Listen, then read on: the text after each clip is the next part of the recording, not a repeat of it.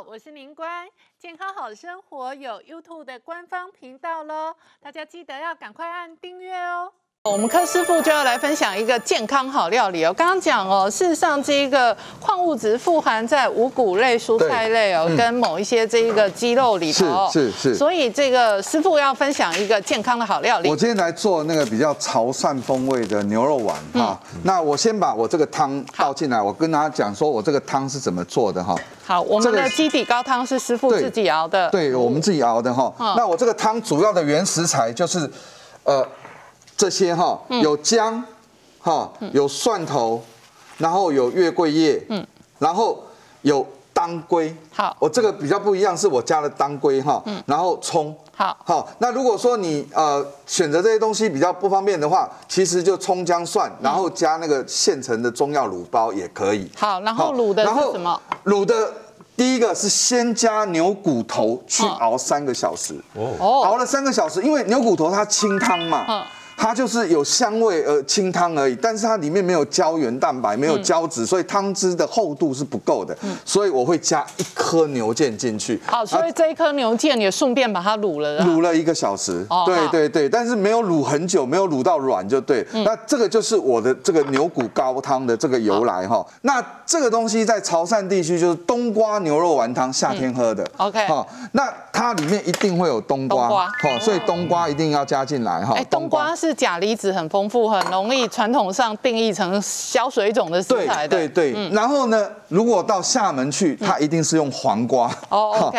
也是一样，都是比较那种清凉的东西。都是一大堆钾离子跟膳食纤维。然后厦门瓜类的东西一定会加一点番茄，好，就是让它有一点点酸酸甜甜的哈。这样的话，它的味道会比较综合一点。然后呢，我们再加其他的，像木耳哈，加一些木耳进来，然后。加一些啊玉米笋，对，加一些这些这些我都穿烫过了哈，所以等一下好，等一下都可以直接吃哈。嗯，那我现在教大家，接着我们要来做肉丸子，比较重要的一个肉丸子啊。嗯，这个肉丸子哈，记得哈。我们买这个肉回来的时候，是用刀的背部去剁，嗯，不能用刀的肩部去剁，嗯。那传统我们看那个电视上在表演，就是说他们都是用那个木棒在锤，对，电影都是，对对对对对，真的是这样锤出来。但是在家里面呢，我们就是用刀背，然后两只刀会剁到手都快断掉，对。但是这样的话，把它的那个筋性都剁到泥状了以后，它自然它的胶质就出来。好，那我们准备什么肉？它这个是牛肉。好，好，然后你把它剁细，剁的粘性出来。对，那这一块这个是猪肉。哦，好，这是猪肉。然后你在剁的过程当中，我还要加一点冰水进去。好，好，如果你没有加冰水的话，它等一下它就不会有所谓的。黏里面不会有汤汁啊，哈，所以里面加进来以后呢，我们为了颜色哈，加一点点的酱油。酱油，我们刚刚大概就是牛肉、猪肉的馅料一比一嘛，但是师傅哦，这个边剁出粘性的同时，有边加冰水，让它那一个肉馅的水分比较足。对，然后呢，再加上刚刚一点点酱油，给它颜色，它不是给它味道哦，然后。太白粉好，好加进来，一点点酱油、胡椒粉、太白粉，然后蛋白加一颗蛋白，然后加一点香油进来，香油，然后先用手先把它先抓匀哈。好，太白粉在这里的目的也是要让它粘着。剂，那蛋白也是，蛋白也是当粘着剂，因为它本身的胶质已经都被我剁出来了，所以。那这样的话，它它的粘着的效果会比较好一点。那其实你现在做这样子哈，你冬天的时候放在冰箱，如果像现在有时间的话，你拌好放冰箱冷藏会更好。嗯，这样它会把那个汤汁啊都冰在里面，所以你去煮的话，你水不要大滚。那你去煮的时候，它的那个汤汁又可以保存在里面。然后再来就是，我们可以选择一个哈，嗯平的盘子。好。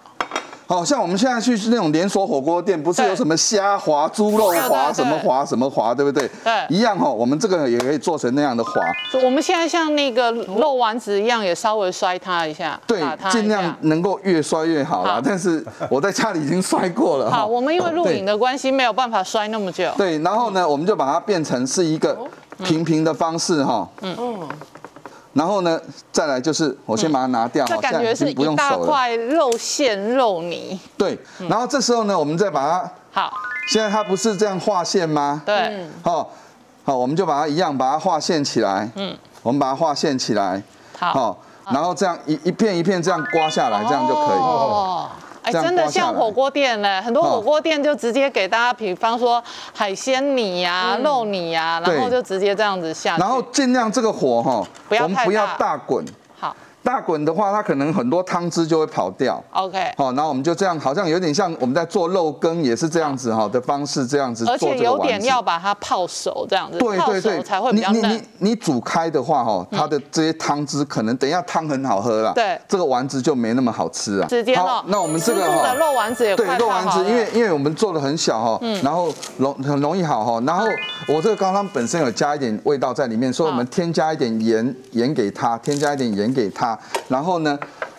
呃，台湾也是一样，对对对，胡椒粉哈，越多是越越越越能够，嗯，把那个暑气消掉哈，逼一点汗出来哈，然后呢，淋上香油，那最重要的时候，你在吃的过程当中，一定要搭配我们的姜丝，好，好，姜丝越多越好吃哈，姜丝，我们姜丝跟对姜丝还有葱葱丝哈，嗯，让我们搭配着吃，那这样的吃会更好吃一点。好，那我们就来试吃哦。柯师傅的那个汤啊，真的很很有滋味哈，并且它的牛肉其实吃起来是有一点咬劲跟脆口的感觉。但是其实我要特别讲一下的是，柯师傅他这次做的这道料理，其实有符合我们如果一般人你可能不是营养师，你不知道你要怎么搭配适合的矿物质的时候的一个小美感。好，什么意思呢？我们先来看一下哈，这张图其实跟我们刚刚那一张说统计台湾会容易缺乏的矿物质是有